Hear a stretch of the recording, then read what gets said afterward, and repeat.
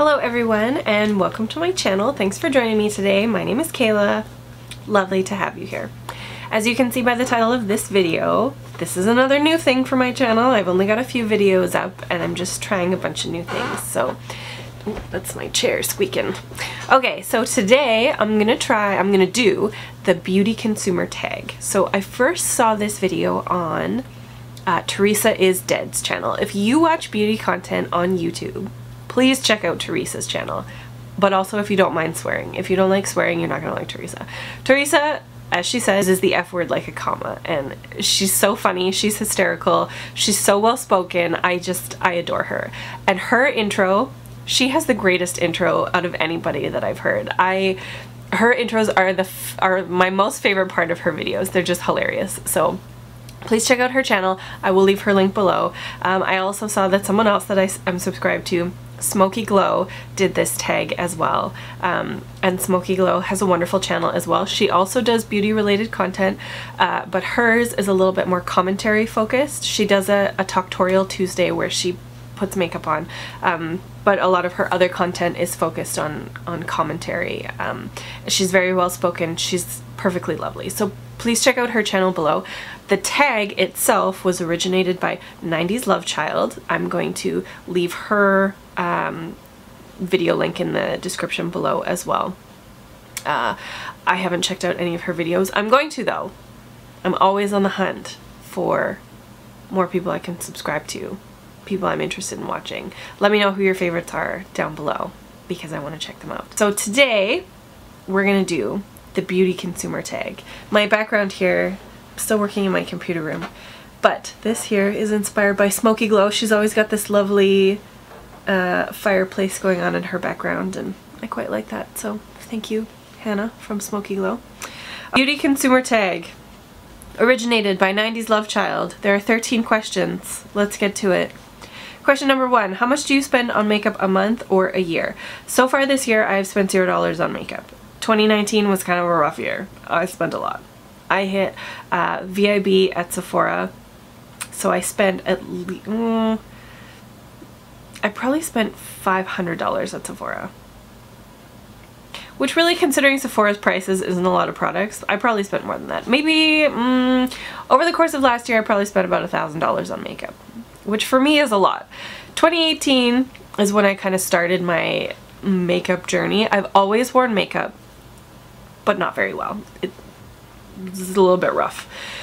2018 I started really watching tutorials on YouTube and figuring out what products were going to work best for me and my skin type and my skin tone. I'm very fair, I have very dry skin, sometimes it's sensitive, and I was just, I just wanted to be better at makeup. Makeup is something I love. I love putting it on, I love the way it makes me feel, um, I like the way it makes me look. I don't wear a ton, so it doesn't really change the way my face looks too much, so I love it. Um, but I, I spent more than I have ever last year. But so far, none this year. Question two.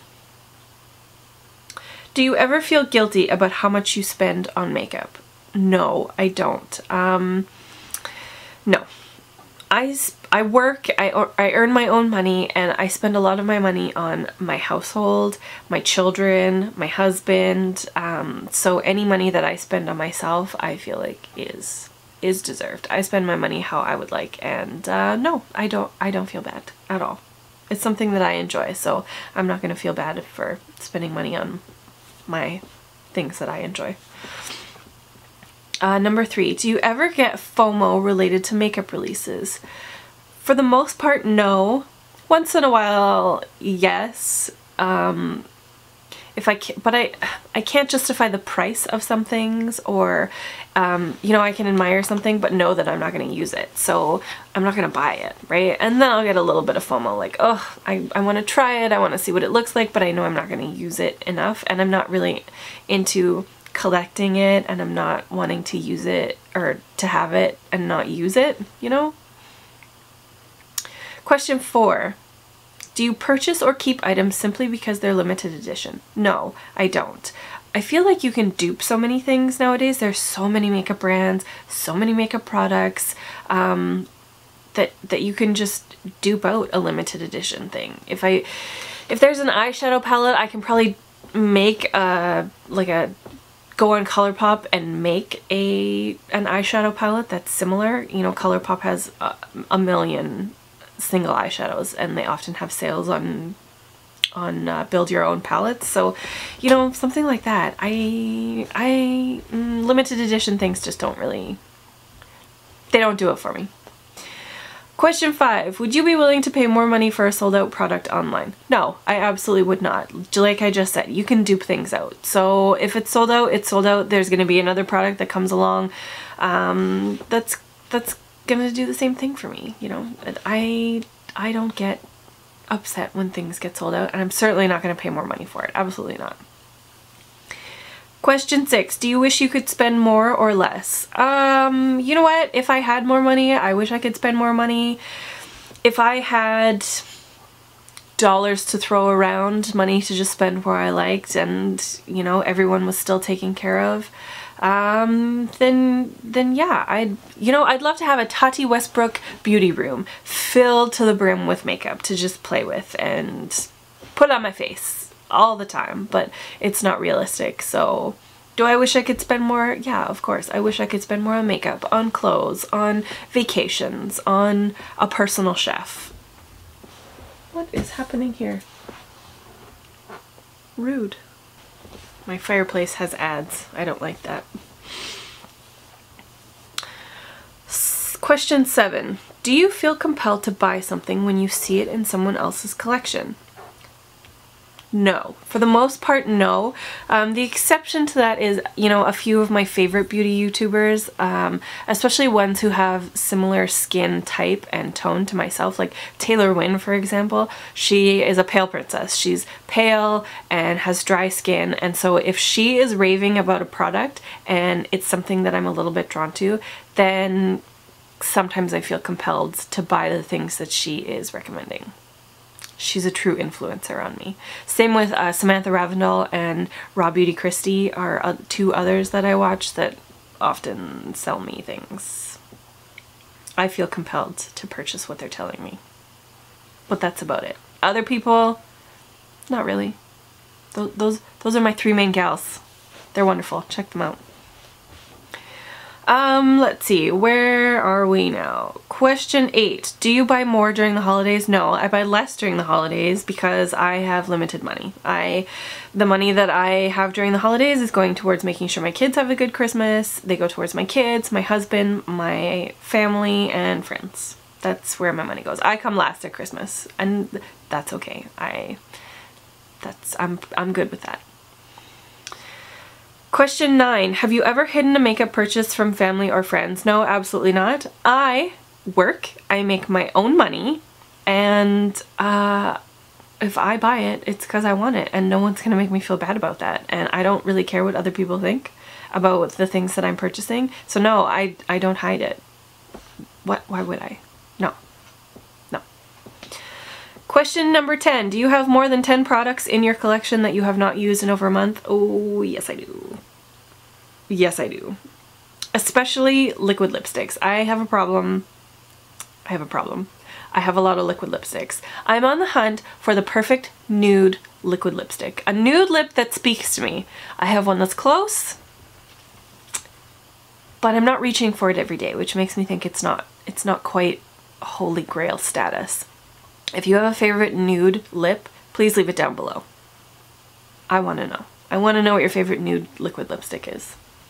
Uh, I also have a small collection of blushes and foundations. I am trying to find my holy grail foundation. I haven't found it yet. I'm on the hunt. So I have more foundations than I prefer to have, but I'm trying to use them up before I purchase another one. That's that's my goal. But man, that new Bite Beauty foundation is really calling my name. I really want to try it. I really want to try it, guys. So I might. Question 11. Have you ever been pressured to purchase something you could not afford or did not need? No. Who would be pressuring me? There is nobody else in my life who's going to pressure me to buy something. No. Question 12. Do you purchase makeup for collector reasons? I feel like I kind of answered that already. No, I don't collect makeup. If I'm purchasing it, it's because I want to use it. I want to see what it looks like on my face. No shade to anybody that does. Everyone's got their collection of things that they like to have. I don't like to collect makeup. I like to use makeup. Question 13. This is the last question. In your makeup journey, have you become less or more consumeristic? Um, for me, it's been kind of a journey. So 2018 and 2019, I definitely became more consumeristic. I was purchasing more to kind of build up my collection and um, figure out what was going to work best for me. So there was definitely a period of time where I was more consumeristic and buying a fair amount of products. Uh, over the last few months I've become less only because I've acquired quite a few products and I want to use them up before I purchase more. I don't want to waste makeup. You know, I spent money on those. I spent money that I worked for on those, so I want to use it. I don't want to just waste it. So that's it. Alright guys, that is it for today. This was just a quick little video. I thank you so much for watching. Please like and subscribe if you want to join me on my journey. My next video that I want to film, I want to talk about Don't F With Cats, the Netflix documentary. If you've watched it, let me know. Leave your thoughts down below. Um, but watch out for that video. That's going to be coming next. I'm going to film that maybe tomorrow. Um, curious to hear what everyone's thoughts are on that. Um, if you're interested in the beauty consumer tag, I'm going to leave the questions in the description. Copy and paste them down below. Tell me your thoughts. Tell me your feelings I hope everyone has had a good day today. If you haven't had a good day today, just remember that tomorrow is a new day and you can start fresh tomorrow. But I hope that today has been good to you. Still on a journey to figure out what my niche is, but I might still just stick with a little bit of everything. I'm not sure yet. Haven't decided. We're only a few videos in, but I'm quite liking my new setup I've got here. I've got a nice tripod, a camera, microphone. The background we gotta work on though. It's a work in progress. But anyways, I appreciate you being here. I appreciate you watching. Thanks, guys.